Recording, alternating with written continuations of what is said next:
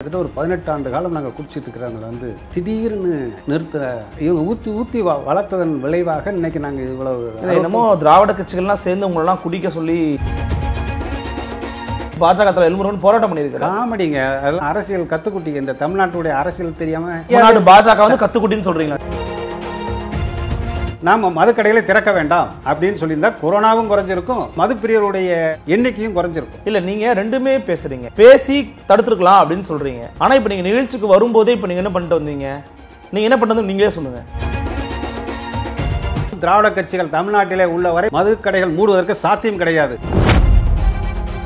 நீங்க மது விலக்கு ஆதரிக்கிறீங்களா இல்லையா? என்னுடைய இலக்கு மதுவிலக்கு தான். ஆனா போற பால் தப்பா இருக்கு. தப்பு கிடையாது. நீங்க சொல்றீங்க ஏன் நாற்பது வயசுக்கு மேல குடின்னு சொல்றீங்க. ஏங்க குடி பாரடைஸ் கேக்குறீங்க. நான் இடஒதுக்கீடு கேக்குறீங்க வேலை இடஒதுக்கீடு கேக்குறீங்க. இது மாதிரிலாம் கேட்பாங்களா ஏங்க யாராவது இது ஒரு பெருந்தலைவர் காமராஜர் இருக்காருன்னு சொன்னா அங்க வந்துட்டு நான் இந்த பாட்டில் போட்டுட்டு அந்த மாதிரி ஒரு தலைவர்கிட்ட வந்து நான் கோரிக்கை வச்சேன்னா நீங்க கேட்கலாம். செருப்பால் அடிக்கலாம் என்ன? இவ்வளவு வசதி பண்ணி கொடுத்துட்டு எல்லாம் நான் தயார் பண்ணி வச்சு வாங்க வாங்கன்னா மதுப்பிரியர் போகாம என்ன செய்வோம்? நீங்க போகலன்னா அரசு ஏதாவது திட்டுமா உங்களை? அவர் பதவி பிரமாணம் எடுக்கும்போது முத்துவேலர் கருணாநிதி ஸ்டாலின் சொல்லும்போது அப்போ இவர் கடையை மூட மாட்டாருங்கிற ஒரு நம்பிக்கை வந்தது. ஏன்னா ஆயிரத்தி தொள்ளாயிரத்தி எழுபத்தொன்னில் அப்பா கடையை திறந்தவர். அப்பாவுக்கு தப்பாத பிள்ளைய இன்னைக்கு ஸ்டாலின். கண்டிப்பாக இவர் கடையை திறந்துடுவாங்க ஒரு நம்பிக்கை வந்து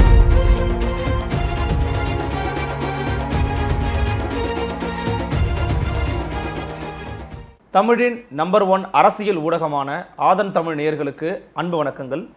இன்று நம்முடைய ஆதன் தமிழின் குடிப்பறக்கது சிறப்பு நேர்காணல் பகுதியில் நம்மோடு இணைந்திருக்கிறார் தமிழ்நாடு மதுகுடிப்போர் விழிப்புணர்வு சங்கத்தினுடைய தலைவர் மதுபெருக்குரிய திரு செல்ல பாண்டியன் அவர்கள். வாருங்கள் அவரோட ஒரு சிறப்பு நேர்காணல். வணக்கம் சார். எப்படி இருக்கீங்க? நல்லா ஸ்டடியாக ரொம்ப மகிழ்ச்சியாக இருக்கீங்க போல இருக்கு. இன்னைக்கு ஆனந்தம் தான் மிகப்பெரிய ஒரு மகிழ்ச்சியில் தான் இருக்கிறேன். தமிழ்நாடு அரசினுடைய இந்த தளர்வுகளுடன் கூடிய ஊரடங்கின் அடிப்படையில் மதுக்கடைகளை திறந்திருக்கிறாங்க. டோக்கன்லாம் கொடுத்து சரி செய்யணும். அந்த வரம்புகளை எல்லைகளை மீறக்கூடிய மதுக்கடைகளுக்கு நாங்கள் வந்து மூடிடுவோம் அப்படிங்கிற ஒரு எச்சரிக்கைலாம் கொடுத்துருக்காரு தமிழ்நாடு முதலமைச்சர். இந்த மதுக்கடை திறப்பை முதல்ல நீங்கள் எப்படி பார்க்குறீங்க உங்களுடைய மனநிலை எப்படி இருக்கு? ஆயிரத்தி தொள்ளாயிரத்தி எழுவத்தொன்னுக்கு முன்னாடி காமராஜர் காலத்தில் வந்து ஒரு ஒரு சதவீதத்துக்கு கீழே தான் மது பழக்கம் இருந்தது. அதாவது தமிழ்நாடு மக்கள் தொகையிலேயே. மக்கள் தொகையிலேயே தமிழ்நாடு மக்கள் தொகையிலேயே ஆயிரத்தி தொள்ளாயிரத்தி எழுவத்தொன்னுக்கு முன்னாடி வரைக்கும் ஒரு சதவீதத்துக்கு கீழே தான் இருந்தது. எழுபத்தி ஒன்று கலைஞர் எழுபத்தி ஏழு எம்ஜிஆர் எண்பத்தி ஒம்பது கலைஞர். அதை சுருக்கமாக சொன்னீங்கன்னா முதல்ல எழுபத்தி ஒன்றில் மதுபான கடைகள் கள்ளு கடைகளை திறக்கிறாரு. எழுபத்தி ஏழில் கடாமார்க்கு சாராயத்தை வந்து எம்ஜிஆர் அறிமுகப்படுத்துகிறாரு கண்ணாடி பாட்டில் இப்போ இருக்கிற சும்மா நூற்றி ஐம்பது மில்லியெலாம் கிடையாது. அப்போல்லாம் பார்த்தீங்கன்னா முக்கால் லிட்டர் பாட்டில். எழுபத்தி ஏழில். அதுக்கப்புறம் எண்பத்தி ஒம்போதில் திரும்ப கலைஞர் ஆட்சிக்கு வராரு. அவர் வந்து பாக்கெட் சாராயம் வாட்டர் பாக்கெட்டெல்லாம் நீங்கள் பார்த்துருப்பீங்க வாட்டர் அதே மாதிரி உங்களுக்கு பாக்கெட் சாராயமே அவர் அறிமுகப்படுத்தினார். வாட்டர் பாக்கெட்லேயே சாராயம் இருக்கும். வா அது வாட்டர் பாக்கெட் மாதிரியே இருக்கும். அது அந்த பிளாஸ்டிக் கவர்லேயே ஓகே. அதை அறிமுகப்படுத்தினாங்க. அதுக்கப்புறம் தொண்ணூற்றி ஒன்றில் செல்வி ஜெயலலிதா வந்தார்கள். அவங்க வந்த உடனே என்ன பண்ணாங்கன்னா இந்த நாட்டு சரக்கெல்லாம் ஆகாது அப்படின்னு சொல்லிட்டு IMFL Indian manufacturing foreign liquor அப்படின்னு சொல்லிட்டு வெளிநாட்டு சரக்குகளை தனியாருக்கு பார்களுக்கு உரிமை அனுமதி கொடுத்து நல்ல லேட்டஸ்ட் சரக்காக அவங்க அறிமுகப்படுத்தினாங்க அது அப்படியே அபார வளர்ச்சி அடைஞ்சு தொண்ணூற்றி ஆறில் அதே இதை அப்படியே கீப் அப் பண்ணார் கலைஞர் அவர்கள். அதுக்கப்புறம் ரெண்டாயிரத்தி மூணில் வந்து சில்லறை விற்பனை வந்து டாஸ்மார்க் இந்த எண்பத்தி ஏழுலேயே இந்த டாஸ்மார்க் நிர்வாகத்தை உருவாக்கியவரே புரட்சித் தலைவர் எம்ஜிஆர் அவர் அவர்கள் தான். அப்படியே ரெண்டாயிரத்தி மூணுக்கு வந்தீங்கன்னா சில்லறை விற்பனை. இப்போ இந்த காலகட்டங்கள்லாம் பார்த்தீங்கன்னா எழுபத்தி ஒன்றுக்கு முன்னாடி காமராஜர் காலத்தில் கள்ளச்சாராயம் தான். கள்ளச்சாராயம் கல் கடலோர பகுதியில் சுண்டக்கஞ்சி அப்படிம்பாங்க. அவ்வளோதான் இதை ஒழிப்பதற்காக தொடர்ச்சியாக இவர்கள் போராடி போராடி எழுபத்தி ஏழு எழுபத்தி ஒன்று எழுபத்தி ஏழு எண்பத்தி ஒம்பது தொண்ணூத்தொன்று தொண்ணூற்றி ஆறு ரெண்டாயிரத்தி மூணு வரைக்கும் ஒரு பத்து இருபது சரக்கு ரேஞ்சில் தான் போய்கிட்டு இருந்தது ரெண்டாயிரத்தி மூணில் நாற்பத்தி ஏழு வகையான சரக்கோடு ரெண்டாயிரத்தி மூணில் டாஸ்மார்க்கு சில்லறை விற்பனை துவங்குது. இன்றைக்கி ரெண்டாயிரத்தி இருபத்தொன்னில் நானூற்றி ஐம்பது வகையான மதுபான வகைகள் இருக்குது இப்போ எதை ஏன் சொல்ல வரேன்னா ரெண்டாயிரத்தி மூணுலேருந்து ரெண்டாயிரத்தி இருபத்தொன்று இப்போ வரைக்கும் ஒரு கிட்டத்தட்ட பதினெட்டு ஆண்டு காலம் நாங்கள் ஆட்சிக்கு வந்தால் மதுக்கடைகளை மூடுவோம் அப்படின்னு சொல்லாத தலைவர்களே கிடையாது. கலைஞர் திறந்திருக்கிறார் மூடியிருக்கிறார். எம்ஜிஆர் திறந்திருக்கிறார் மூடியிருக்கிறார். ஜெயலலிதா திறந்திருக்காங்க மூடியிருக்கிறாங்க. தொண்ணூற்றி ஒன்றில் இவங்க நான் வந்த உடனே முதல் கையெழுத்து மதுவிலக்கு தான் சொன்னவங்க ஜெயல ஜெயலலிதா அவர்கள். அதே மாதிரி தொண்ணூற்றி ஆறில் வந்து ஆ மாவட்டத்திற்கு ஆயிரம் பெண்களை வந்து திரட்டி விழிப்புணர்வு ஏற்படுத்தி நான் மதுக்கடைகளை ஒழிப்பேன்னு கலைஞர் சொன்னார். இப்படியே இவங்க என்ன பேசினாலும் ஆனால் அந்த எங்களுக்கு மதுப்பிரியர்களுக்கு தொய்வில்லாமல் சரக்குகளை கொடுத்ததன் விளைவாக இன்னைக்கு அறுபத்தி ஒன்று புள்ளி நாலு சதவீதம் பேர் இன்னைக்கு மதுப்பிரியர் இருக்கும். காமராஜர் ஆட்சியில் ஒரு சதவீதமா இருந்தது. ரெண்டாயிரத்தி இருபத்தி ஒண்ணுல வந்து அறுபத்தி மூணு சதவீதமாக அதிகரிச்சு அறுபத்தி ஒன்று புள்ளி நாலு சதவீதமாக வந்திருக்கு. அப்போ நீக்க மரம் வந்தாச்சு. இருபத்தோரு சதவீதம் அதாவது இப்போ இந்த ரெண்டாயிரத்தி மூணுல இருந்து ரெண்டாயிரத்தி இருபத்தொன்று வரைக்கும் கிட்டத்தட்ட ஒரு பதினெட்டு ஆண்டு காலம் நாங்கள் குடிச்சிட்டு இருக்கிறவங்கள வந்து திடீர்னு நிறுத்த இவங்க ஊற்றி ஊற்றி வ வளர்த்ததன் விளைவாக இன்னைக்கு நாங்கள் இவ்வளவு என்னமோ திராவிட கட்சிகள்லாம் சேர்ந்து உங்களெல்லாம் குடிக்க சொல்லி பாடம் நடத்தி குடிக்க வச்ச மாதிரி பேசுறீங்களே ஊத்தி ஊத்தி ஏங்க. அது அதாவது ஒரு அரசாங்கம் இந்திய அரசியலமைப்பு சட்டம் நாற்பத்தேழு என்ன சொல்லுதுன்னா ஒரு மாநில முதல்வர் இல்லைன்னா பாரத பிரதமர். இவங்க வந்து அந்த பதவி பிரமாணம்னு ஒன்று இருக்காங்கல்ல அதில் என்னென்னா அந்த ஒவ்வொரு மாநில அரசும் அந்த மாநிலத்துடைய மக்களுக்கு உணவு அதாவது பசி இல்லாமல் உணவு கொடுக்க வேண்டும். அவர்கள் தங்குவதற்கு இருப்பிடம் கொடுக்க வேண்டும். வீடு கட்டி கொடுக்கலாம் இல்லை குடிசை போட்டு தரலாம் இருப்பிடம். மூணாவது சுகாதாரம். இந்த மூணையும் தருவதற்கா தருவது தான் ஒரு மாநில அரசினுடைய கடமை. ஓகே. அதையெல்லாம் தாண்டி மக்கள் பிர- பிரதிநிதியாக வரக்கூடிய இவர்களாகவே ஒரு ஆட்சிக்கு வந்தவர்கள் இவர்களாகவே ஒரு கொள்கை முடிவெடுத்து நாங்கள் ஆட்சிக்கு அந்த எம்எல்ஏக்களுடைய ஒப்புதலோடு அமைச்சர்களுடைய ஒப்புதலோடு இவர்கள் ஒரு புதிய கொள்கையை இவர்கள் உருவாக்கி உருவாக்கப்பட்டு அந்த மது கொள்கையை வந்து இவங்க கொண்டு வந்ததன் விளைவாக இன்றைக்கி வந்து நாங்கள் அறுபத்தொன்று புள்ளி நாலு சதவீதம் பேர் வந்திருக்கோம். இல்லை இப்போது தமிழகத்தின் முதலமைச்சராக திகழக்கூடிய திரு மு க ஸ்டாலின் அவர்களுடைய கட்சியின் கொள்கை அப்படிங்கிறது மதுவிலக்கு தான் சரி. மதுவிலக்கு நோக்கி தான் நான் நகருவோம்னு சொல்லியிருக்காங்க சரி. இந்த கொரோனா காலகட்டத்துக்கு கூட மூடி தான் வச்சிருந்தாங்க கடைகளை. இப்போதான் திறந்துருக்கிறாரு. வேற வழி இல்லை எப்போ மூடி வச்சிருந்தாங்க? ஏங்க அதைத்தான் சொல்கிறேன்ல எல்லாருமே மு- திறந்தாங்க மூடுனாங்க. ஆனால் தொடர்ச்சியாக சரக்கு கிடைக்காம இல்லை ஏன் அதாவது மூடுனாங்க? இல்ல இப்ப மூடப்பட்ட காலங்களில் எப்படி நீங்க கு- குடிக்க முடியும்? குடிக்க முடியாது. குடிக்க முடியாதுன்னா உங்களுக்கு அதாவது கலைஞர் அவர்கள் ஆயிரத்தி தொள்ளாயிரத்தி எழுபத்தொன்னில் கடையை திறக்கிற ராஜாஜி அவர்கள் கொ கொட்டு மலையிலே கொடையை பிடித்து கொண்டு போய் திறக்க வேண்டாம் நாங்கள் மதுவிலக்கு வந்து காமராஜர் காலத்து வரைக்கும் அண்ணா அறிஞர் அண்ணா காலத்து வரைக்கும் இருக்கு. அண்ணா வரைக்கும் இருந்துச்சு மது அதனால அறிஞர் அண்ணா கூட வந்து இந்த மது கடைகளை திறக்க மாட்டேன். அந்த தாய்மார்களுடைய கண்ணீரை கண்ணால் பார்க்க முடியாது. அவருடைய பசி கொடுமையை என்னால் தாங்க முடியாது. அதனால் திறக்க மாட்டேன்னு சொன்னாங்க. இவர் ராஜா எழுபத்தி ஒன்றில் கலைஞர் அவர்கள் திறந்த பொழுது ராஜாஜிட்ட அவர் வந்து என்ன சொல்றாரு அப்படின்னா தமிழகத்தை சுற்றி நெருப்பு வளையம் இருக்கிறது. நெருப்பு வளையத்துக்குள்ள ஒரு கற்பூரம் மாதிரி தமிழ்நாடு இருக்கிறது. அவர் எதை ஒரு உதாரணம் காட்டினார்னா கேரளா கர்நாடகா ஆந்திரா பாண்டிச்சேரி, நா- சுற்றி இருக்கிற மாநிலங்கள் எல்லாமே மதுபானங்கள் வித்துக்கிட்டு இருக்கிறாங்க. அதில் நடுவில் தமிழ்நாடு வந்து முற்றிலும் அதாவது மதுவே இல்லாமல் இருந்தால் அது வந்து கள்ளச்சாராயம் போலி இந்த மாதிரி வரும். அதனால தான் நான் அதை திறக்கிறேங்கிற ஒரு வச்சார் அதே மாதிரி தான் இன்றைக்கி தமிழ்நாட்டில் பார்த்தீங்கன்னா உங்களுக்கு பாஜக ஆளுகின்ற கர்நாடகா ஜெகன்மோகன் ரெட்டி ஆந்திரா நேத்து பாஜக போராட்டம் பண்ணியிருக்காங்களே. ஏங்க தமிழ்நாட்டு தாய்மார்களுடைய பழி சொல்லை வாங்கக்கூடாது அப்படின்னு சொல்லி பாஜக தலைவர் எல்முருகன் போராட்டம் பண்ணியிருக்காரு காமெடிங்க. அதெல்லாம் இவங்களுக்கு இதெல்லாம் விளையாட்டு கிடையாது தமிழ்நாட்டு அதாவது இவங்கெல்லாம் அரசியல் கத்துக்குட்டிங்க இந்த தமிழ்நாட்டுடைய அரசியல் தெரியாம தெரியாத பாஜக வந்து கத்துக்குட்டின்னு உள்ள- ஏங்க பிறகு அவங்கெல்லாம் மனச்சாட்சியோட அவங்க போராடுறாங்களான்னா கிடையாது.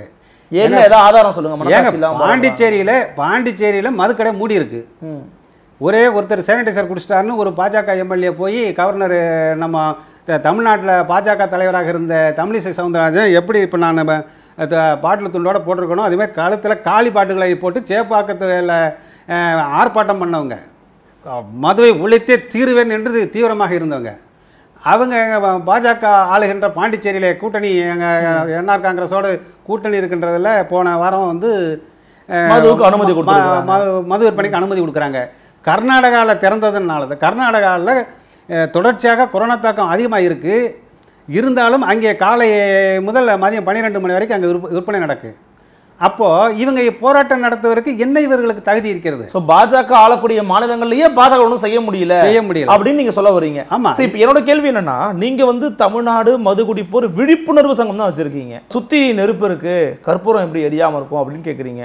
சுத்தி சம்பவங்கள் இருக்கு. இந்த சம்பவங்களால நீங்க பாதிக்கப்பட போறீங்களா? அல்லது மீண்டு எழ போறீங்களா?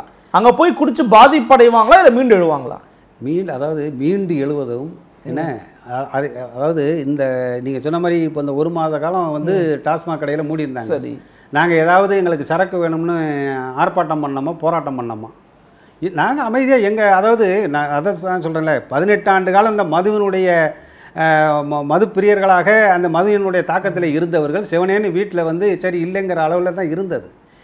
இவர் இந்த தமிழ்நாட்டுடைய முதலமைச்சர் என்ன செஞ்சுருக்கணும்? ம நம்மளுடைய இன்னைக்கு சுகாதாரத்துறை அமைச்சர் மா சுப்பிரமணியம் அவர்கள் அவர் சுகாதாரத்துறை சம்பந்த அந்த கொரோனா சம்பந்தப்பட்ட விஷயங்களிலே மருந்துக்கு அவர் தீவிரமாக பா பாடுபடுகிறார். முதலமைச்சரும் தீவிரமாக இருக்கிறார்.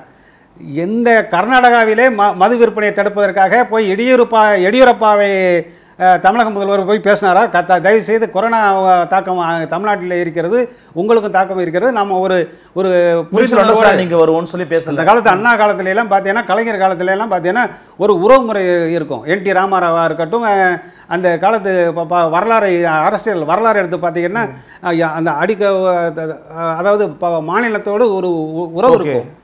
இந்த மு- இந்த முதல்வர்கள் வந்து எல்லா உலகமே கொரோனாவில் பாதிக்கப்பட்டிருக்கின்ற பொழுது இந்தியாவே பாதிக்கப்பட்டிருக்கின்ற வேளையிலே இவர்கள் வந்து இந்த மாநில முதலமைச்சர்கள் எல்லாம் சந்தித்து நாம் ஒரு குறிப்பிட்ட காலத்து வரை நாம் மதுக்கடைகளை திறக்க வேண்டாம் அப்படின்னு சொல்லியிருந்தால் கொரோனாவும் குறைஞ்சிருக்கும். இந்த குடியினுடைய த- வீரியம் மதுப்பிரியருடைய எண்ணிக்கையும் குறைஞ்சிருக்கும். இல்லை நீங்கள் ரெண்டுமே பேசுகிறீங்க இப்போது பேசி தடுத்துருக்கலாம் அப்படின்னு சொல்கிறீங்க ஆனால் இப்போ நீங்கள் நிகழ்ச்சிக்கு வரும்போதே இப்போ நீங்கள் என்ன பண்ணிட்டு வந்தீங்க? நீங்கள் என்ன பண்ணுறது நீங்களே சொல்லுங்கள் நான் அதாவது மதுக்கடைக்கு முன்னாடி இன்னும் பூஜை போட்டுட்டு வரீங்க. மதுக்கடைக்கு முன்னாடி பூஜை போட்டுட்டு வரோம். பாலும் பச்சரிசியும் கொடுத்துட்டு வரேன். இன்னைக்கு காலையில் ஐயா தமிழக முதல்வர் பச்சரிசி நினைப்பாங்களா வாய்க்கரிசி நினைப்பாங்களா? அதாவது இப்போ நீங்களே உங்களுடைய அந்த துண்டுல போட்டிருக்கீங்கல்ல இப்போ தமிழக அரசாங்கம் ஒரு பணம் கொடுக்குறாங்க. கொரோனா நிவாரண நிதின்னு கொடுக்குறாங்க. அந்த பணத்தை வீட்டுக்கு கூட தாய்மார்கள் செலவழிக்க முடியாம அந்த பணத்தை கொண்டு வந்து இந்த மாதிரி மதுக்கடையில் கொடுத்தாங்கன்னா அது குடும்பத்துக்கு நல்லதா? ஏங்க கொடுக்கறது அதாவது இது இந்த ஒரு மதுக்கடைகளை இன்னைக்கு திறக்கிறாங்க அப்படின்னா ஒரு தமிழக முதல்வர் வந்து போன மே மாதம் ஏழாம் தேதி அவங்க குடும்பத்து உறுப்பினர்கள் கனிமொழியாக இருக்கட்டும் துர்காவாக இருக்கட்டும் ஒரு மகன் உதயநிதி ஸ்டாலினாக இருக்கட்டும் அவங்க வீட்டுக்கு முன்னாடி மே ஏழாம் தேதி கருப்பு ட்ரெஸ்ஸு போட்டு போராட்டம் பண்ணாங்கல்ல. ஆட்சிக்கு வருவதற்கு முன்னாடி போராட்டம் பண்ணாங்கல்ல. இப்போ ஏன் அவர் திறந்தாங்க? அப்ப நீங்க மூடுங்கன்னு சொல்லுங்க. நீங்களும் ஏன் திறக்க திறக்கிறதே ஏங்க, வரவேற்கிறீங்க. நாங்க அதை தான் சொல்கிறேன் ஸ்டாலின் பாலை வார்த்தை விட்டாருன்னு பேசுறீங்களே. அதாவது. தமிழ்நாட்டிலே திராவிட கட்சிகள் உள்ள வரை தமிழ்நாட்டிலே திராவிட கட்சிகள் உள்ள வரை நான் தான் உங்களுக்கு வரலாறே சொல்லியாச்சு. எம்ஜிஆர் கலைஞர் ஜெயலலிதா ஓபிஎஸ் இபிஎஸ் ஸ்டாலின் இது இவர் அனைவருமே ஒரு போலியான மதுவிலக்கு கொள்கை என்ற ஒரு போலியானதை பிம்பத்தை வைத்துக்கொண்டு அவர்கள் தொடர்ச்சியாக மது விற்பனையை ஊக்குவிப்பார்களே ஒழிய ஒரு காலமும் திராவிட கட்சிகள் தமிழ்நாட்டிலே உள்ளவரை மது க மதுக்கடைகள் மூடுவதற்கு சாத்தியம் கிடையாது. அதனால தான் தமிழ்நாடு மது குடிப்போர் விழிப்புணர்வு சங்கம் உருவாக்கப்பட்டது. நோக்கமே அதுதான். ஏன் என்று சொன்னால் மது குடிக்காதவர்களுக்கு விழிப்புணர்வு தேவையில்லை. மது குடிக்கிறவங்க விழிப்புணர்வு பெற வேண்டும். ஏனென்றால் விழிப்புணர்வு பெற செய்பவராக இருந்தா மதுக்கடையின் வாசல்ல போய் வரவேற்று பூஜை போட்டு சாமி கும்பிட்டு அது பூஜை ஏன். போட்டேன்? அதை தான் சொல்ல வரேன். பூஜை போட்டு இந்த பூஜை போட்டுட்டு என்ன கொடுத்தேன்? பாலும் பச்சரிசியும் கொடுத்துட்டு வந்தேன். எதுக்கு கொடுத்தீங்க? பாலும் ஐயா, அதாவது ஒருத்தருடைய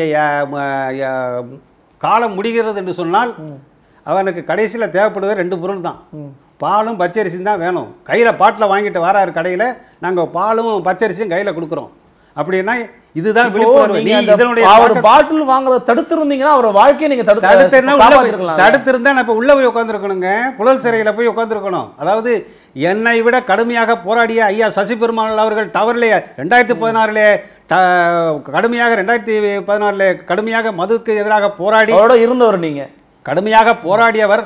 அவர் இறந்த பொழுது அந்த பிணத்தை தூக்கி கொண்டு வைகோ அவர்கள் ஒரு மக்கள் நல கூட்டணியை ஆரம்பித்தார்கள். என்ன அந்த ரெண்டாயிரத்தி பதினாறில் முடிவு என்ன? அதே போல் அன்றைக்கு இந்த மது விலக்கை பற்றி பேசுகின்ற மது ஒழிப்பை பற்றி பேசுகின்ற பாட்டாளி மக்கள் கட்சி வந்து தனி ஆவர்த்தனம் அவங்க தனியாக போய் நாங்கள் ஆட்சிக்கு வந்தால் மது ஒழிப்போம்னாங்க மக்கள் நல கூட்டணி இவங்க விடுதலை சிறுத்தைகள். கம்யூனிஸ்ட்டு காங்கிரஸ். இவங்கெல்லாம் இவங்கெல்லாம் ஒன்று சேர்ந்தாங்க ஆனால் இவர்கள் எல்லாமே ஒரு இப்போ தமிழ்நாட்டில் இருக்கக்கூடிய மதுவிலக்கை பற்றி பேசக்கூடிய தலைவர்கள் யாருக்கும் வந்து பூரண மதுவிலக்கை கொண்டு வர வேண்டும் என்ற எண்ணம் துளி கூட கிடையாது. ஏன்னா இவ்வளோ பேசுகிறீங்களே இன்னைக்கு கடையை திறந்திருக்கிறாங்களே. அதே அந்த மக்கள் நலக் கூட்டணியை உருவாக்கிய கம்யூனிஸ்ட்டு விடுதலை சிறுத்தைகள் உங்களுக்கு மனிதநேய மக்கள் கட்சி வைகோ எல்லாம் இருக்காங்களே. இப்போ இவர் இவர்கள் எல்லாம் ஏன் வாய் திறக்கவில்லை? இன்னைக்கு வைகோ வாய் வாய் திறந்திருக்கிறாரா? கூட்டணி கட்சியிலே இருக்கின்றார். ஆக அதே மாதிரி உங்களுக்கு தமிழ் மாநில காங்கிரஸ் ஜி கே வாசன் உங்களுக்கு கேப்டன். அவர் எதிர்த்து இருக்கிறாரு அவர் வந்து? தப்பு திறக்கக்கூடாதுன்னு சொல்லியிருக்கிறாரு. ஏங்க அவருக்கு வந்து ஒண்ணுமே கிடையாது. அவருக்கு அரசியல் அங்கீகாரம் கிடையாது. அவர் பேசுறதுனால ஒன்றும் பிரயோஜனம் கிடையாது. இல்ல இப்போ இப்போ- நம்ம ஓகே நீங்க சொல்றது புரியுது. அரசியல் ரீதியான விமர்சனங்களை வைக்கிறீங்க. தவறு இல்ல. இப்போ உங்களுடைய கொள்கை சரியானதா இருந்துச்சுன்னா இப்போ நீங்க உங்க பாட்டில் மேல என்ன போட்டிருக்கீங்க? அந்த மூடியில என்ன இருக்கு? மூடிய திறந்தா தாலி அதிருங்கிறது அப்ப நீங்களே ஒத்துக்கிறீங்க குடும்ப தலைவருடைய தாலி இருக்கிறீங்கன்னு ஒத்துக்கிறீங்க. தாலி வந்து அவங்க அதான் தான் சொல்றேன்ல இந்த போலியான இந்த மது விலக்கை பற்றி பேசுகின்ற இந்த ஆட்சியாளர்கள் உள்ள வரை ஒன்றும் பண்ண முடியாது. அப்போ அவன் இருக்கிறவனை பாதுகாக்கணும். டேய் மு- மூடிய திறந்தா தாலி எந்தரும். மதுவில் மாணவர்கள் மதிமயங்கி கிடக்குறாங்க. நீங்கள்லாம் விழிப்புணர்வோடு இருங்க. குடிக்கிற சரக்கு நான் தான் ஆரம்பத்தில் சொன்னேன். நாற்பத்தேழு வகையான சரக்கு ரெண்டாயிரத்தி மூணில் அறிமுகப்படுத்தியது. அஹ், இன்னைக்கு நானூற்றி ஐம்பது வகையான சரக்கு எந்த சரக்கு குடிச்சு எப்படி சாகுறான்னு யாருக்கும் தெரியாது. அவன் இன்னைக்கு வாங்குற சரக்கு நாளைக்கு கிடைக்கிறது இல்லை அதான் சார் நீங்க மது விலக்கு ஆதரிக்கிறீங்களா இல்லையா? ம என்னுடைய இலக்கு மது விலக்கு தான் ஆனா போற பால் தப்பா இருக்கு. தப்பு கிடையாது. நீங்க சொல்றீங்க நாற்பது வயசுக்கு மேல குடின்னு சொல்றீங்க. ஏங்க, குடி. பாரடைஸ் ஏங்க, கேக்குறீங்க. ஏங்க, நான் இடஒதுக்கீடு கேக்குறீங்க. வேலைவாய்ப்பு இடஒதுக்கீடு கேக்குறீங்க. இது மாதிரிலாம் கேட்பாங்களா ஏங்க யாராச்சும் இது இது எங்க அதாவது நீங்க என்னென்ன ஏங்க, ஒரு சொல்லுங்க. இருங்க. அதாவது ஒரு ஆட்சியாளர்கள் வந்து ஒரு பெருந்தலைவர் காமராஜர் இருக்காருன்னு சொன்னா அங்க வந்துட்டு நான் இந்த பாட்டில் போட்டுட்டு அந்த மாதிரி ஒரு தலைவர்கிட்ட வந்து நான் கோரிக்கை வச்சேன்னா நீங்க கேட்கலாம். செருப்பால் அடிக்கலாம் என்ன? ஆனா இந்த ஆயிரத்தி தொள்ளாயிரத்தி எழுபத்தி ஒண்ணுல இருந்து கிட்டத்தட்ட இன்னைக்கு ரெண்டாயிரத்தி இருபது கிட்டத்தட்ட நாற்பது ஐம்பது ஆண்டு காலம் நான் மதுவிலக்கு மதுவிலக்கு என்று பேசிக்கொண்டு ஆட்சியில இருந்து அறுபத்தி ஒன்று புள்ளி நாலு சதவீதம் பேர் இன்னைக்கு இதை வைத்து தான் இந்த வருமானத்தை வைத்து தான் கஜனாவுக்கு நி- நிரப்ப முடியும். எங்களால் வந்து நிதி ஆதாரத்தை திரட்ட முடியும் என்று ஒரு அரசாங்கம் திறந்திருக்கு என்று சொன்னால் நாங்கள் ஏன் வந்து அந்த மதுப்பிரியர்களுக்கு வந்து ஒரு விழிப்புணர்வை ஏற்படுத்தணும். அவங்கள வந்து நான் சொல்கிறேனே இந்த பதினெட்டு ஆண்டு காலம் மது போதையில் இருக்கிறவங்கள வந்து உடனே மீட்டெடுக்க முடியாது. அதனால் குடிக்கிறத வந்து வேர்ல்டு ஹெல்த் ஆர்கனைசேஷன் என்ன சொல்லுதுன்னா அந்த அந்த என்ன கலந்துருக்கு உணவு பாதுகாப்பு சட்டத்துக்கு இல்லை நான் அதான் நீங்கள் அதாவது மதுபானத்தில் என்ன இருக்குன்னு முதல் தெரியணும். தமிழ்நாட்டில் விற்கப்படுகின்ற மதுபானங்கள் வந்து என்னென்னா உங்களுக்கு பாண்டிச்சேரி சரக்கு நல்லா இருக்குன்னு சொன்னோன்னா அதுக்கு கோதுமையிலிருந்து அரிசியில இருந்து திராட்சையில இருந்து பார்லியில இருந்து பிரெஞ்சு கலாச்சாரத்தில் அங்கே உருவாக்கப்படுகிறது. தமிழ்நாட்டிலே உருவாக்க டாஸ்மாக் கடையில் விற்கப்படுகின்ற சரக்கு கரும்பு கழிவிலிருந்து வரக்கூடிய மொலாசஸ். மொலாசஸ்ங்கிறது சர்க்கரையெல்லாம் எடுத்து கடைசியாக கழிவில் வரக்கூடியது. அதில் வந்து ஹைட்ரோகுளரிக் ஆசிட்டு சோடியம் அதாவது காஸ்டிக் சோடா இது எல்லாம் வந்து கலந்த ச- சோடா ஆஷு எல்லாம் கலந்து அந்த கழிவு தான் வெளியே வரும். அதுக்கு பேர் தான் மொலாசஸ். அதை காய்ச்சி அதில் ஒரு லிட்டரு எக்ஸ்ட்ராக்ஷன் பண்ணி எடுக்கக்கூடியது தான் நீங்கள் டாஸ்மாக் கடையில் பல்வேறு கலர்களில் விற்கக்கூடிய மதுபான வகைகள். அப்போ இது வந்து உடல்நலக்கு பாதிக்கப்படும். இது வந்து அந்த ம மது பிரியர்களுக்கு வந்து என்ன குடிக்கிற அதில் என்ன கண்டென்ட் இருக்குன்னு பார்த்து குடி அஹ், உனக்கு உண்டான உரிமைகள். இன்னைக்கு அஹ், பத்து ரூபா டீ விற்கிறது கூட சங்கம் இருக்குது ஒரு ஒரு பத்து ரூபா பிஸ்கட்டு ஒரு மேகி நூடுல்ஸ் சாப்பிட்டா கூட இன்சூரன்ஸ் இருக்குது அதில் அதாவது உணவு பாதுகாப்பு சட்டத்துக்கு கீழே வந்து கன்சூமர் கோர்ட்டுக்கு போகலாம். ஆனால் நூற்றி முப்பது ரூபா சரக்கு விற்கக்கூடிய அரசாங்கம் விற்கக்கூடிய சரக்கு தான் நாங்கள் குடிக்கும் அதுக்கு வந்து ஒரு இன்சூரன்ஸ் வேணும்னு கேட்குறது தப்பா? இல்லை அஹ், இன்னைக்கு கடையை திறந்துருக்குறாங்கன்னா என்ன காரணம்? அரசாங்கத்துக்கு வருமானம் இல்லை கஜனா நிதி ஆதாரம் இல்லைங்கிறதுனால எங்களை முன்களை நிதி நிதி கொடுப்பாளர்களாக நிதி கொடையாளர்களாக எங்களை வந்து முன்னிலைப்படுத்தி இன்னைக்கு கடையை திறக்கிறாங்க. திண்டுக்கல்ல பாருங்க இன்னைக்கு இன்னைக்கு அத்தனை ஊர்களையும் பார்த்தா வ வரிசையில் நிற்கிறோம் அள்ளி அள்ளி எங்களை தியாகம் பண்ணி நாங்கள் நிதி கொடையாளர்களாக எங்கள் உயிரை பணையம் வச்சு அவங்களுக்கு நிதி ஆதாரத்தை திரட்டு குமிச்சுக்கிட்டு இருக்கோம். இது எப்படி சார் தியாகம்னு சொல்றீங்க? ஏங்க? ஏங்க தே- அதாவது இது இவங்க நிதி ஆதாரம் தான் தேடுறதுக்கு இன்றைக்கி சிமெண்ட் விலை ஆந்திராவில் வந்து முந்நூற்றி தொண்ணூறுரூவா இங்கே தமிழ்நாட்டில் ஐநூற்றி முப்பது ரூபா. அப்போது சிமெண்டில் இருந்து இந்த ஐநூற்றி முப்பது ரூபாய்க்கு எங்களால் விற்க முடியும்னு சொல்லி விற்று அதில் கோடிக்கணக்கில் கொண்டு வரலாம். அதே மாதிரி இன்னைக்கு டாஸ்மாக் கடையில் பாட்டுக்கு மேலே உங்களுக்கு இருபது ரூபா கிடைக்குங்கிறத எங்களை எங்களை தேடி வந்திருக்கீங்க. எத்தனை போக்குவரத்து துறை இருக்குது எத்தனையோ துறைகள் இருக்குது எல்லாத்தையும் விட்டுட்டு எங்களை ஏங்க நீங்கள் கடையை திறந்து நிதி ஆதாரத்துக்கு எங்களை ஏன் நீங்கள் திறந்து சார்? திறந்தா உங்களை யார் சார் போக சொல்றது? ஏங்க ஒரு அரசு என்னன்னா இப்போ நீங்களே சொல்றீங்க இவ்வளவு வழிகள் இருக்கு அரசு நிதி திரட்டலாம்னு சொல்றீங்க. அப்புறம் நீங்களே சொல்றீங்க சரக்கு நல்லா இல்ல அப்படி நல்லதை வாங்கி குடி அப்படின்னு நீங்க சொல்றீங்க.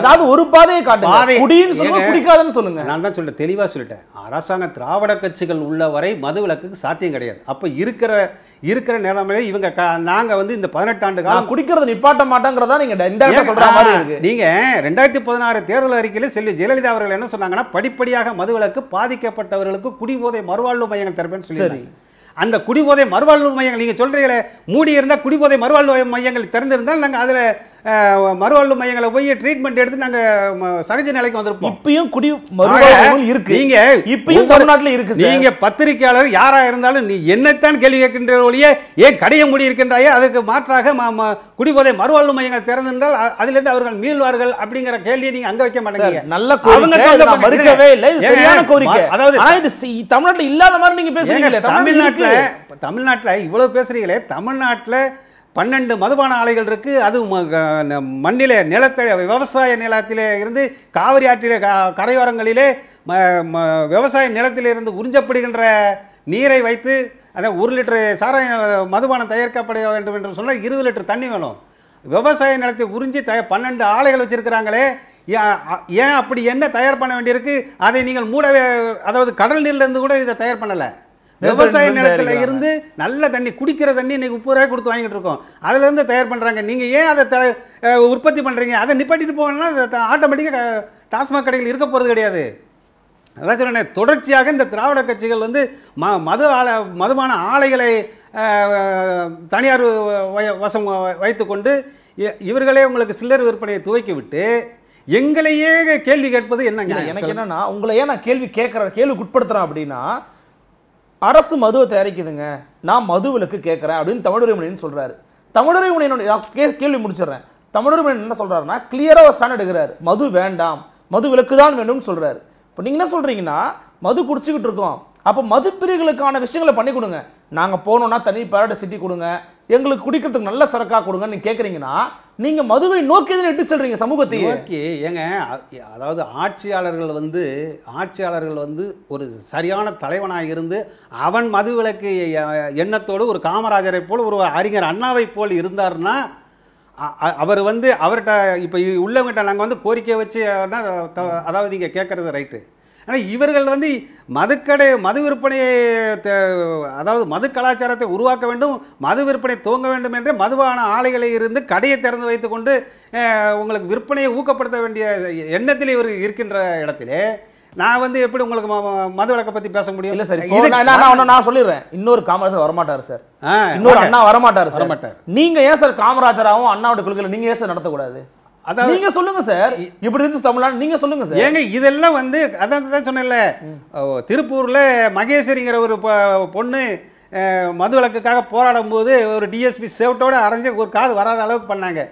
பல பாட்டாளி மக்கள் கட்சி வந்து களத்து களத்தில் போராடி பார்த்தது. எல்லாமே அடக்குமுறை. நீங்கள் இவ்வளோ சொல்றீங்களே இன்னைக்கு டாஸ்மாக் கடை திறந்தா அவங்க போலீஸ் பாதுகாப்போடு உட்காந்துருக்குறாங்க நீங்கள் வந்து பக்கத்துலேயே யாரும் போக முடியாது. போலீஸ் பாதுகாப்பு அதெல்லாம் அதாவது நல்ல காவல்துறையெல்லாம் நொந்து போவான் அந்த அளவுக்கு இன்னைக்கு பகலிலே அந்த மதுபானம் விற்பதற்கு ஒரு பாதுகாப்பு அதுக்கு ஒரு ஆறடி டிஸ்டன்ஸு அதுக்கு ஒரு வளையம் ஒரு சவுக்கு கட்டை போட்டு ஒரு ம வந்து இவ்வளோ வசதி பண்ணி கொடுத்து வாங்க வாங்க வாங்கன்னு உங்களை ஆட்சியாளர்கள் வந்து போன எடப்பாடி ஆட்சியிலையும் எங்களுக்கு சவுக்கு கட்டையை கட்டி முகக்கவசம் அணிய வேண்டும் பதினெட்டு விதிமுறைகளை வைத்து பண்ணியிருக்கிறாங்க. இவ்வளவு வசதி பண்ணி கொடுத்துட்டு எல்லாம் நான் தயார் பண்ணி வச்சு வாங்க வாங்கன்னா அப்போ மதுப்பிரியர் போகாமல் என்ன செய்வோம் நீங்க போகலன்னா அரசு ஏதாவது திட்டுமா உங்களை? யாரு? நீங்க போகலன்னா ஏங்க, அதாவது அரசாங்கத்துக்கு இது வேலை இல்லை ஒரு காவல்துறையுடைய கடமை அது ஆ, அங்க குடியாரம் வர்றவங்களுக்கு காவல் காக்கிறதுக்கு தான் அந்த ஒரு காவல் அந்த சார் நீங்க கேட்குற கேள்வி நியாயமான கேள்வி சார். இதை நான் வரவேற்கிறேன். ஆனா இப்ப நீங்க என்ன பண்ணணும்னா ஒரு உண்மையிலேயே விழிப்புணர்வு ஏற்படுத்தக்கூடியவரை செல்லப்பான இருந்தாருன்னா அந்த இடத்துக்கு போய் உட்கார்ந்து யாரும் குடிக்க போகாதீங்கப்பா குடிக்காதீங்கப்பான்னு சொல்லணும். குடிச்சிட்டு பாட்டில் வாங்கிட்டு வரவன்ட்டு போய் வாய்க்கரிசி அரிசி கொடுக்க கூடாது. முல்லை முள்ளால தாங்க எடுக்க முடியும். இவங்க அதுதான் சொன்னேன்ல ஒரு காமராஜர் ஒரு அண்ணா ஒரு ஓமந்தூரார் ஒரு குமாரசாமி ராஜா இந்த மாதிரி தலைவர்கள் கிடையாது. இவர்கள் வந்து மது சிந்தனையோட இருக்கக்கூடிய அதே- சசி பெருமாளோடு அதே அங்கே உண்ணாமலை கடையிலே டவர்ல ஏறிய இந்த மது ஒழிப்புக்காக கடைகளை எல்லாம் மூட வேண்டும் என்று இறந்தாரே. அதே சசி பெருமாளோடு சென்னை மாநகரம் முழுவதும் காலிலே விழுந்து கெஞ்சினோம். காலில் விழுந்து கூட கெஞ்சி பார்த்தோம். நீங்களும் அதுல ஒருத்தரா? ஆமா என்ன அவ அவ சசி பெருமாளோட தான் நாங்கள் எல்லாம். போராடி பார்த்தோம். ஆனா க- அதாவது ஒட்டுமொத்த தமிழகமே தாய்மார்கள் எவ்வளவு போராடி பார்த்தோம். சசிபெருமாள் குடிச்சாரா? சசிபெருமாள் யாராவது குடிக்க சொல்லி சொன்னாரா? குடிச்சவங்களுக்கு ஏதாவது அதுதான், அவர் வந்து காந்திய வழியில அவர் காந்திய வழியை எடுத்து போராடி பார்த்தாரு. நீங்க என்ன வழியில போராடுறீங்க? யாரு? நீங்க என்ன வழியில போராடுறீங்க? நான் இவர்களுக்கு தகுந்த மாதிரி. அவர் வந்து அவர் மைண்டில் வந்து காமராஜர் ஓம ஓமந்தூரார் உங்களுக்கு அறிஞர் அண்ணா சரியா? சிந்தனையில அப்படி. அப்படி தமிழக முதல்வர்களே அவர்கள் கற்பனையில நினைத்து அவர் போராடினார் நான் அந்த அளவுக்கு போகக்கூடிய அந்த சிந்தனையில் நான் போகவில்லை இவர்களை நான் ஒரு வித்தியாசமான கோணத்திலே இவர்கள் இப்போ உள்ள தலைவர்கள் அது கலைஞரில் இருந்து ஜெயலலிதாவில் இருந்து எடப்பாடியில இருந்து ஓபிஎஸ்சில் இருந்து இன்றைய முதல்வர் ஸ்டாலின் வரை இவர்களை வந்து அந்த தலைவர்களோடு ஒப்பிடவில்லை இவர்களுடைய சிந்தனைக்கு தகுந்த மாதிரி தான் இன்னைக்கு மதுவால் பாதிக்கப்பட்ட அந்த மது பிரியர்களை வந்து தயார்படுத்தி ஒரு அரசியல் அரசியலுக்கு பக்குவப்படுத்தினால் மட்டுமே ஒரு தமிழ்நாட்டிலே மாற்றத்தை உருவாக்க முடியும் என்ற நோக்கத்திலே தான் இந்த தமிழ்நாடு மதுகுடி பொருள் சங்கம் செயல்படுகிறது. செயல்படுது சார். இப்போ நீங்களே கூட சொன்னீங்க இடஒதுக்கீடு கேட்குறேன் எங்களை கொண்டு போய் விடணும் பேரடைஸ் சிட்டிலாம் வேணும்னு கேட்குறீங்க. இப்போ இடஒதுக்கீடுன்ற விஷயமே என்னென்னா பாதிக்கப்பட்ட மக்களுக்கு ஒடுக்கப்பட்ட மக்களுக்கு ஏதோ ஒரு குறிப்பிட்ட விஷயத்தில் அமுக்கப்பட்ட மக்களுக்கு இடஒதுக்கீடு கொடுக்குறாங்க. உங்களை யாரும் போய் குடின்னு சொல்லலை. நீங்களா போய் குடிச்சு நான்? பேசுறேன் பேசி முடிச்சிடுறேன் நீங்களா போய் குடிப்பீங்க நீங்களா உங்க வாக்கை சிறுவழிச்சுப்பீங்க அரசு உங்களுக்கு இடஒதுக்கீடு கொடுக்கணுமா கல்யாணம் நடத்துவதற்கோ ஒரு கோயில்களை வந்து தரிசனம் செய்வதற்கோ காலையில் அந்த கொரோனா காலத்திலே வந்து அந்த துளசியை வாயில் போட்டு இயற்கையான காற்றை சுவாசிக்கின்ற பொழுது உடல் ஆரோக்கியமாக இருக்கும் அதுக்கு கூட வழி இல்லாமல் அதெல்லாம் கல்யாண மண்டபங்கள் கோயில்கள் எல்லாம். வேலையில். எங்களுக்கு இந்த இவர்கள் கடையை திறக்க வேண்டிய நோக்கம் என்ன இவர்கள் கடையை திறந்து வைத்ததுனால தானே இன்றைக்கி வரிசையில் நிற்கிறாங்க நாங்கள் செவனேன்னு இருக்கிறவங்கள வந்து வா வான்னு சொல்லி எங்க அதாவது பதினெட்டு ஆண்டு காலம் எங்களுக்கு வந்து ஒரு போதை போதை என்பது உங்களுக்கு சிறுமுலையை பாதிக்கக்கூடியது உடல் நலத்தை பாதிக்கக்கூடியது. ஓ உடனே அதை விட முடியாது. அப்போ அதுலேருந்து மீளணும்னா குடிபோதை மறுவாழ்வு மையங்கள் வேணும். எல்லாமே மறுவாழ்வு மையங்கள் கேட்டு இடைப்பட்ட காலங்கள்ல பேசியிருக்கீங்களா? ஏங்க உண்ணாவிரத சேப்பாக்கம்? ஏங்க ஜெயலலிதா காலத்திலேயே சேப்பாக்கத்திலே செத்த புணமாக உண- உண்ணாவிரதம் இருந்து பார்த்தேன். குடிபோதை மறுவாழ்வு மையங்கள் திறங்கன்னு. அது காது கொடுத்து கேட்கல. எடப்பாடி ஐயாட்ட போய் பேசி பார்த்து கேட்கல. ஏன் இவரெல்லாம் இன்னைக்கு ஒரு ஒரு எடப்பாடியார் மாதிரி ஒரு ஸ்டாலின் வந்து ஒரு திடீர் முதல்வராகலை. இவர் இவர் ஆரம்ப காலத்தில் சிறு வயதில் இருந்து அரசியல் பார்த்தவர். ஏன்னா இவரெல்லாம் வந்து போன மே மாதம் வந்து எங்கள் வீட்டுக்கு முன்னாடி கடையை கொத்து கொத்தாக சாகின்றார்கள் கடையை மூடணும்னு இவர் போராட்டம். பார்த்த உடனே எங்களுக்கெல்லாம் மது பிரியர்களுக்கெல்லாம் ஒரு மனசில் பயம் வந்துருச்சு. நிச்சயமாக இவர் கடையை மூடிடுவாருன்னு. அதுக்கப்புறம் அவர் பதவி பிரமாணம் எடுக்கும்போது முத்துவேலர் கருணாநிதி ஸ்டாலின் சொல்லும்போது அப்போ இவர் கடையை மூட மாட்டாருங்கிற ஒரு நம்பிக்கை வந்தது. ஏன்னா ஆயிரத்தி தொள்ளாயிரத்தி எழுவத்தொன்னில் அப்பா கடையை திறந்தவர். அப்பா அப்பாவுக்கு தப்பாத பிள்ளைய இன்னைக்கு ஸ்டாலின். கண்டிப்பாக இவர் கடையை திறந்துருவாங்க ஒரு நம்பிக்கை வந்துச்சு. அதே வேலையை அவர் அப்பா எழுவத்தொன்னில் திறந்தார். இவர் இருபத்தொன்னில் திறந்திருக்கிறாரு. வர்ற இருபத்தொன்னில் சட்டமன்றத்தில் முதல் முறையாக கால் எடுத்து வைக்கிறாரு. ஆக இவர்கள் இவர்களையெல்லாம் இல்ல நம்பி நீங்க ரைமிங்கா இருக்கிறதுனால சொல்றீங்களா? நான் ரைமிங். ஏங்க ஏது வரலாறுங்க? ஸ்டாலினுடைய நோக்கம் மதுக்கடலை திறப்பது நீங்க எங்கேயா சொல்லியிருக்கிறாரா? எங்க? ஸ்டாலினுடைய நோக்கம் மது விலக்கு தான் அப்படிங்கறத சொல்லியிருக்கிறாரு. மதுக்கடைகளை நாங்க நிரந்தரமா மூடுவோங்கிறத எங்க நோக்கம்னு சொல்லியிருக்கிறாரு. சரி. இப்ப திறந்ததை வச்சு இப்ப ஏங்க இப்ப திறந்த நோக்கம் எதுக்காக திறந்தீங்க? உங்களுக்கு நிதி ஆதாரம் வேணும்னு திறந்தீங்களா? அவர் என்ன சொன்னாரு? கொரோனா வந்து கொங்கு மண்டலத்தில் பதினோரு மாவட்டங்களில் வந்து கொரோனா அதிகமாக இருக்கிறது. கொரோனா கம்மியாக இருக்கின்ற இடங்களே திறக்கணும் இப்போ என்ன வந்தது? அப்போ இவருடைய நோக்கம் என்ன? கொரோனாவில் ஒன்று கொரோனாவில் சாக போகின்றாயா இல்லை கோட்டரில் சாக போகின்றாரா? அப்படிங்கிற அதாவது ஒட்டுமொத்த தமிழ்நாட்டுடைய மக்களுக்கு வந்து கொரோனா பாதிப்பில் சாகின்றவர்கள் இங்கிட்டு கொரோனா பாதிப்பு இல்லாமல் இருக்கிறவர்களுக்கு கோட்டரை திறந்து விட்டால் இதில் கோட்டரில் சாகட்டும்னு முடிவு பண்ணி இருக்கிறாரா ஆக அதை பேலன்ஸ் பண்ணுறாரா இல்ல நீங்க தெளிவா குழப்புற மாதிரி இருக்கு. நீங்க நான் நான்? ஸ்டெடியாக பேசுகிறேன் அதாவது நீங்க என்ன சொல்றீங்கன்னா ஒரு பக்கம் வந்து குடிக்கிறது தப்பு அப்படிங்கிற மாதிரியே பேசுறீங்க. இன்னொரு பக்கம் குடிங்க நல்ல சரக்கா வாங்கி குடிங்க அப்படின்னு பேசுறீங்க. ஏங்க? ரெண்டுமாவும் பேசுறீங்களா நீங்க? அதாவது ஒரு குழந்தை அடம் பிடிச்சி ஒரு சாக்லேட் ஒரு சாக்லேட்டு ஒரு ஸ்வீட்டு கேட்குது அப்படின்னா அதுக்கு கொடுக்கக்கூடாது அதுக்கு சளி இருமல் இருக்குன்னு சொன்னால் அதுக்கு பக்குவமாக கொஞ்சம் கசப்பு மருந்து கொடுத்தாங்கணும். இன்னைக்கு இந்த இந்த எழுபத்தொன்னுக்கு அப்புறம் உள்ள இந்த ஆட்சியில் இருந்தவர்களுடைய அதான் சொல்கிறேன் மதுவிலக்கு கடை நாங்கள் வந்தால தேர்தலுக்கு முன்பாக தேர்தல் அறிக்கையில் மதுவிலக்கு இருக்கும் ஆட்சிக்கு வந்த உடனே மதுக்கடையில் திறப்பாங்க. இல்ல நீங்க சொல்றீங்க ஒரு நாற்பது வயசுக்கு மேல குடிக்கிட்டோங்க குடிச்சு வந்து அவன் நாட்டுக்காக தன்னோட வாழ்க்கையை தியாகம் பண்ணட்டுங்க அப்படிங்கிறீங்க. ஆமா இதெல்லாம் ஒரு பேச்சா இல்ல இல்ல அதாவது அது ஏன் சொல்ல வரேன்னா இருபது ஆண்டு காலம் பெற்றோர்கள் இருபது வயசு வரைக்கும் பெற்றோர்கள் கட்டுப்பாட்டில் அவன் வந்து. வளர்ந்தாலும் அது இருபது வயசுக்கு மேலே வந்து அவங்க சமூகத்துக்குள்ளே தான் வந்தாகணும். சரி. ஒரு வேலை வாய்ப்புக்கோ எதுக்கு வேணாலும் வந்தாகணும். அப்போ அந்த இருபது வயதுலேருந்து நாற்பது வயது வரைக்கும் அரசாங்கம் தான் பாதுகாக்கணும். அவன் வந்து வெளியில் வந்துட்டான். ஒரு கிராமத்தில் இருக்கிறவன் சென்னைக்கு வருவான். ஓகே. நாற்பது ஆண்டு காலம் அவனுக்கு வேலை வாய்ப்பிலையும் அவனுக்கு உண்டான தொழில் வளர்ச்சியிலே ஒரு இருக்கு. கொடுத்தாச்சுன்னா அவன் அதுக்குள்ளே பக்குவம் அடைஞ்சிருவான். அதுக்கு மேலே வந்து அவன் சுயமாக தெளிவாக நம்ம குடும்பத்தை சிந்திக்கக்கூடிய ஆற்றல் அவனுக்கு வந்துருச்சு அப்படின்னா அதுக்கப்புறம் அவன் குடிக்கானா அவன் திமிரேறி போய் தான் குடிக்க முடியும். குடும்பத்தை மறந்து இல்லை அவனுக்கு வந்து தீராத நோய்களாக இருக்கலாம் இல்லை ஏதோ ஒரு காரணத்துக்காக பல உடல்நல குறைபாடுகளோ இல்லை வாழ்க்கையில் ஒரு பிரச்சனையாக இருக்கலாம். அப்பேற்பட்டவர்கள் வந்து டாக்டருடைய அனுமதியோடு நாற்பது வயசுக்கு மேலே வந்து அப்போ தெளிவானவன். அவனுடைய சுய இல்ல இப்போ. பள்ளி மாணவ சொல்லிடுறேன் சொல்லிடுறேன். பள்ளி மாணவ மாணவிகள் கல்லூரி மாணவ மாணவிகள்லாம் வந்து குடிக்கக்கூடிய விஷயங்கள்ல சமீப காலமா கொஞ்சம் அதிகமாயிட்டு வருதுன்னு தரவுகள் சொல்றாங்க.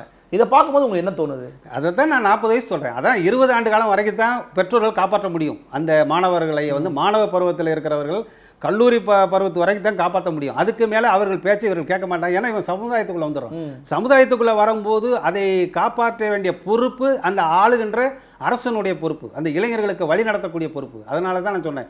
இந்த நாற்பது ஆண்டு காலம் இருவர் பெற்றோர்களும் அரசாங்கமும் சேர்ந்து காப்பாற்றி விட்டால் அதற்கு பின்னாலே அவன் சுயமாக சிந்திக்க ஃபார்ட்டி ஏஜ் வரைக்கும் ஒருத்தன் குடிக்காம இருந்தா அதுக்கு மேல குடிக்கணும் தோணாதுங்கிறீங்க நீங்க. தோணாது. அப்படி அதாவது அதாவது இது நாற்பது வயசுக்கு ஒருத்தன் குடிக்க ஆரம்பிச்சிட்டான்னா அவனை குடிக்காதன்னு சொல்லி தடுத்து நிறுத்தணுமா? தேவை தேவையில்லை. அதுக்கு மேலே ஏங்க அவன் தான் வாழ்ந்த நாற்பது ஆண்டு காலம் தெளிவாயிட்டோமே. ஒரு முழு பயிற்சி கொடுத்து அவனுக்கு இல்ல நான் கேட்கறது நாற்பது வயசுக்குள்ளேயே ஒருத்தர் குடிக்க ஆரம்பிச்சிட்டாருன்னா எப்படி தடுப்பீங்க? இப்போ இந்த? எப்படி தடுப்பீங்க? அந்த வாய்ப்பு உருவாக்கக்கூடாதுங்கிறேன். நீ அந்த அந்த வாய்ப்புக்கு தான் கவுன்சிலிங் இருக்குது பெற்றோர்களுக்கு இடத்துல இருக்கும்போது கவுன்சிலிங் இருக்குது இங்கிட்டு இந்த வயசுக்குள்ளே குடித்தாவே அங்கே அதுக்குண்டான சோர்ஸ் இருக்காதே.